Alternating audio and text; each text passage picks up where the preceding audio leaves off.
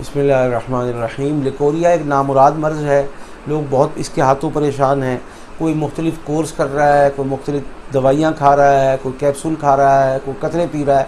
आज हम आपको अपने इस चैनल के तवसत से वो दवाई बता रहे हैं। अलामत के मुताबिक सिम्टम्स के मुताबिक अफराद के मुताबिक कि इन उसके करने से अगर आपके अंदर ये अलामत पाई जाती हैं तो दवा खाएँ।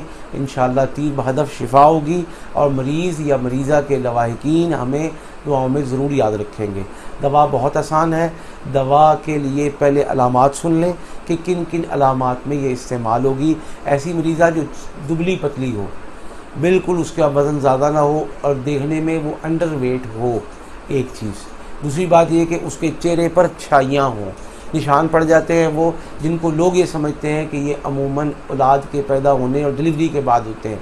हालाँकि ये सिर्फ़ डिलीवरी के बाद नहीं होते, ये आपके अंदर मैदे की तकालीफ है, जिनकी वजह से इसका इजहार होता है।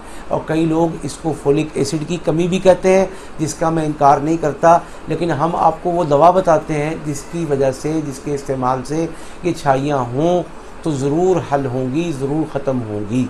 तो ऐसी मरीज़ा कि जिसके चेहरे पर छाइयाँ, जो जिसमानी तौर से बहुत कमज़ोर, जिसको लिकोरिया का शदीद एहसास, ये इन इस दवा के इस्तेमाल से शिफायाब होगी। और अगर मरीज़ा को या मरीज़ा को ये मसला हो कि हाथ पाँव जलने की भी शिकायत हो, सर दर्द की शिकायत हो, बाल झड़ते हों और कॉन्स्टिपेशन भी साथ साथ हो तो इन दो, तीन, चार अलामत के अतबार से उसको प्यास ज़्यादा लगती हो, मुँह खुश्क रहता हो और ज़्यादा वो नमकीन चीज़ों की ख्वाहिशमंद हो और अमूमन कई लोग ऐसे होते हैं जो तन्हाई पसंद होते हैं।